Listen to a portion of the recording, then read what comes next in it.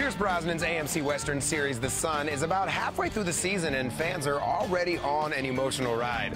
Senior correspondent Arthur Kade went one-on-one with Brosnan's co-star David Wilson Barnes. What's it like working with Pierce? He's the best. He's one of those rare crossbreeds of actor, true artist, and also, you know, massive celebrity. And, and it's it's just an absolute pleasure. And he came in, swooped in, and just selflessly was a part of the group. Everything all right? Isn't it incredible to see the commonalities between where we are today and what you guys are dealing with in the Son? Well, I, I thank you for saying that because I really feel like that is the goal of the show is to say this is where we came from and not to be ashamed of where we came from and being able to acknowledge that mistakes were made for sure and people did terrible terrible things. But it was all in the name of perseverance. It won't happen. Unless we make it happen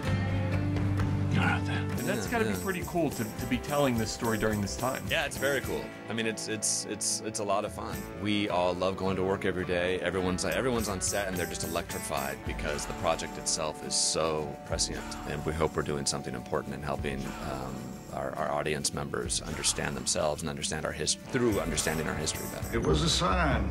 I'm being warned. Everybody, make sure to check out The Son on AMC.